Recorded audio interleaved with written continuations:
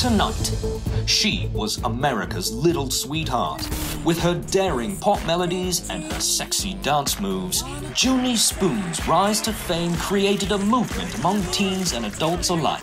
You know, man, she was a phenom, man, like way ahead of her time. I'd never seen anything like it before. She could move. It was like overnight, all you heard people talking about was Junie, Junie, Junie. Everyone knew her all-American smile and her catchy lyrics, but few knew the darkness behind her bright public persona. When most 14-year-olds are getting ready for high school and their first kiss, Junie was rehearsing 15 hours a day and simulating sex for millions of strangers. The downward spiral caused a social media blitzkrieg unrivaled by any other child star, and no one could have anticipated what came next. That is the pink Bronco of child pop star Junie Spoons.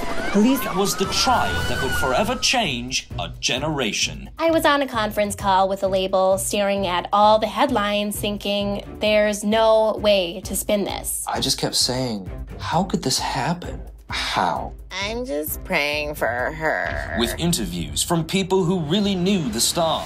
Yeah, I fucked her. So what? She told me everything, man. Everything.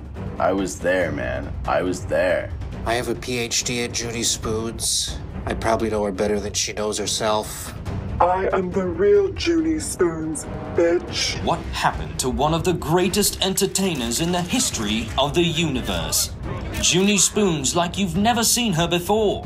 We'll take you on an uncensored VIP backstage pass into the rise and fall of the most successful child star in the history of the world. Stay tuned.